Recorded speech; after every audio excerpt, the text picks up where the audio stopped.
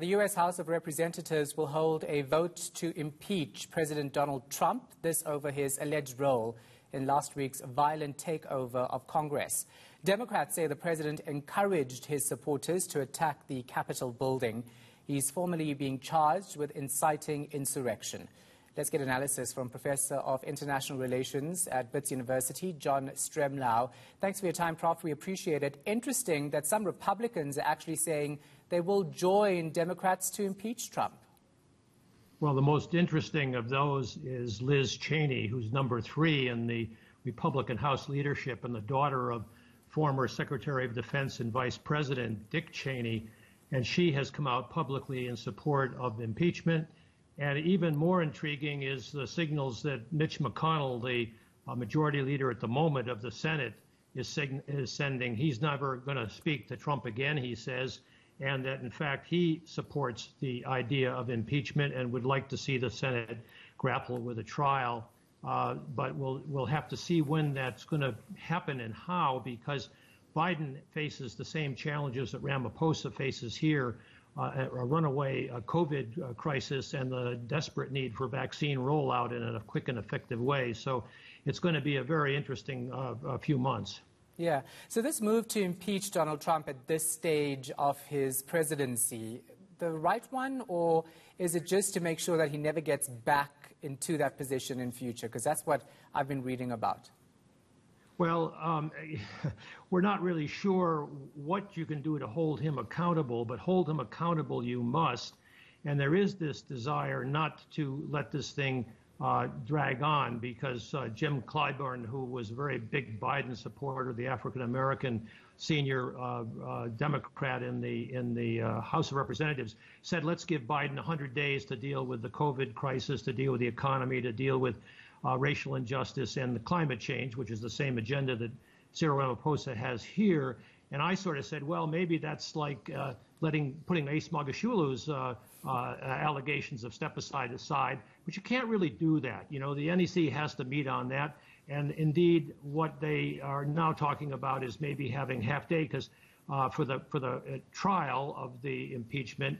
But there's never been a trial once the president has left office, and so they're breaking legal ground here, maybe and there will be constitutional issues. But if they could go forward with the trial, as most people think they can, then you do it half day on ratifying the cabinet for Biden and half time um, and, and on uh, the, the, legislative uh, issues he wants uh, rapidly done, like in COVID, and then spend the rest of the day on the on the trial. But it's it's a very tricky moment but because you don't want to let Trump off the hook. Yeah.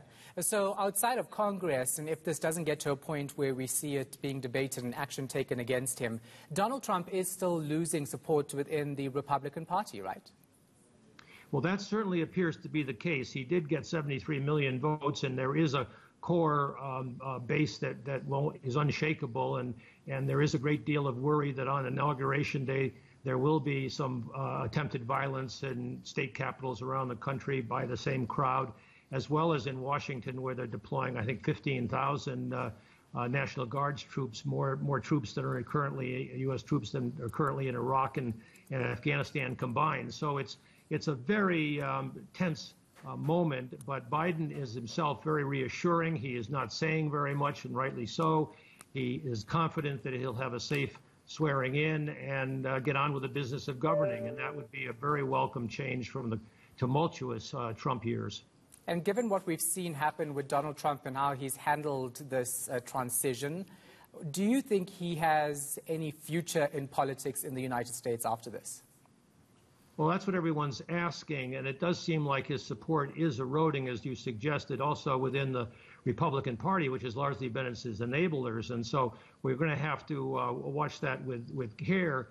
But uh, the, the, fact that he would be down at the uh, wall uh, along Mexico uh, yesterday and, and then spouting out that, well, he's against all violence. And we know what the videotape uh, shows of his instigating the march on the Capitol uh, on the 6th of uh, January. And so I just think maybe he's run out of room for persistently lying and changing the story to fit, fit the convenience of the moment. And, and uh, you can't have presidential leadership with anyone as disingenuous as that. But uh, that's Trump, and we'll see Uh, but I, I, do think you're right to focus on his ebbing support. This still will require America to build back a confidence that it can be a reliable partner in the future because it did elect Donald Trump after all. Yeah, definitely the case. So thank you so much for your insight. Appreciate it. Professor of International Relations at Wits University, John Stremlau.